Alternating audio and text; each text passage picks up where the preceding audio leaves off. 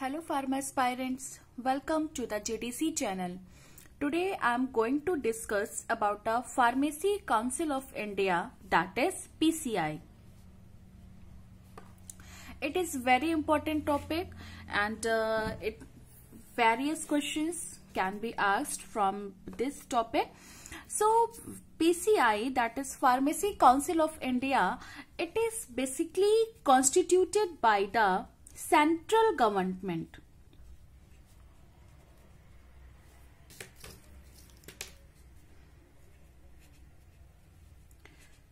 Constituted by the central government as central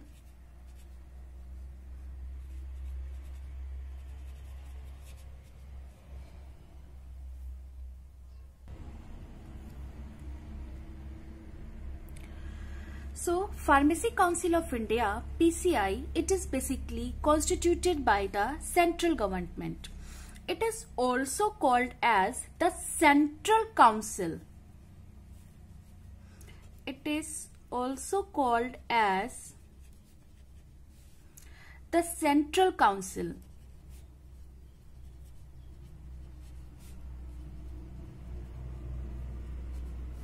Central Council that is PCI. Pharmacy Council of India, PCI or Central Council. So this Central Council or PCI is constituted by the central government and it is reconstituted. It is basically constituted constituted in 1949 it is constituted in 1949. It is reconstituted in every five years. It is reconstituted in every five years and uh, Dr. B. Suresh Dr. B. Suresh is the president president of PCI Pharmacy Council of India and president and the vice president president and the vice president of the PCI are elected by the member of by the member of the council.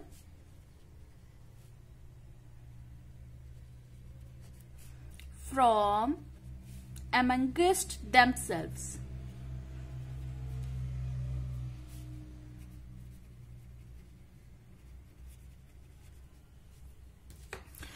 So Pharmacy Council of India that is PCI is constituted by the central government. So it is called as Central Council. It is called as Central Council. It is called as PCI. It is called as Pharmacy Council of India. So Pharmacy Council of India, PCI or Central Council is constituted by the central government. It is constituted in 1949 it is reconstituted in every five years and Dr. B. Suresh Dr. B. Suresh is the president of PCI and president and vice president of PCI are elected by the member of the council from amongst themselves. Now coming toward the functions of PCI what are the important functions? Here i am discussing only about the important key points. Important points which are basically asked in the exams. Various pharma competitive exam jurisprudence um, is a very important subject and it comes the questions important questions are uh, asked in every years in every competitive examinations. So here i am discussing about the only key points which are basically asked in the examinations. so now coming toward the functions of PCI. So PCI it is basically gives approval to the course of study it gives approval to the course of study and examination It gives approval to the course of the study and examination. It makes education regulation.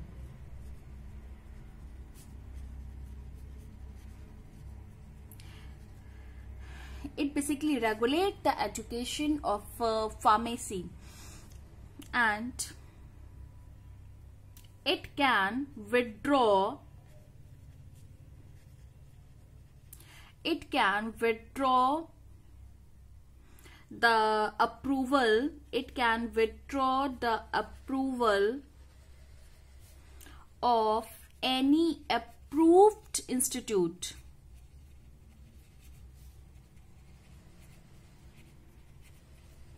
So if any institute is already approved by PCI but uh, uh, for any uh, any type of any type of uh, uh, wrong behavior, any type of failure in the rules and regulation of the PCI, PCI again can withdraw the approval of uh, institute. So, uh, the important functions of the PCI, it basically gives approval to the course of study and examination. It basically regulates the education and it can withdraw the approval of any approved institute. So it is all about the important key points of the Pharmacy Council of India. Now coming towards the Constitution of Pharmacy Council of India that how many members, how many uh, members can be present in in this council. So Pharmacy Council of India basically it is uh, covered it is basically made up of three types of members. It is basically made up of three types of members that is the first one is the elected members. First one is the elected members. The next one we called it as nominated members and the last one is the ex officio members. So PCI basically constituted by the made up of by the three types of member elected member, nominated member and ex officio member. When we talk about the elected members, so basically here six member it is basically the six plus one plus one type 6 plus 1 plus 1 type. And when we talk about the nominated member it basically covers 6 plus 2 plus 1 type. 6 plus 2 plus 1 type. And if we talk about the ex officio member then it is basically 1 plus 1 plus 1 type. So when we talk about the elected member, so what is the 6 plus 1 plus 1? So 6 members, basically it covers 6 members including at least 4 member are teacher of teachers are elected by UGC. In this 6 member, at least 4 members should be teachers elected by the UGC and one member is elected by the Medical Council of India that is MCI. One member elected by the Medical Council of India and the last one member shall be a pharmacist to represent each state elected by each state. So, he elected members basically 6 plus 1 plus 1 here 6 member in 6 members uh, including at least 4 members are teachers elected by the UGC one member elected by the MCI and one member is should be pharmacist to represent each state. So now coming toward the nominated members and uh, nominated members basically here 6 plus 2 plus 1. So 6 members including at least 4 person possessing degree or diploma in pharmacy. So here these member can this member should have completed their B Pharm or uh, they are having diploma in pharmacy. So six member here including at least four persons possessing degree or diploma in pharmacy. So and the next one two. Two members in two members one from the UGC and one from the AICT. One from the UGC and one from the AICT and the last one members it is basically one registered pharmacist again to represent the each state nominated by state government or union territory. So in nominated members six members in six members at least four person possessing degree or diploma in pharmacy two members one from ugc and one from aict and the last one member is registered pharmacist to represent each state nominated by state government or union territory. The last one is the ex officio member. It is basically 1 plus 1, 1 plus 1 type. So the one, the director general of health service. In ex officio member, the one is the Director General of Health Service and the next one is the Director of Central Drug Regulatory. The next one is the Director of Central Drug Laboratory and the last one is the Drug Controller of India.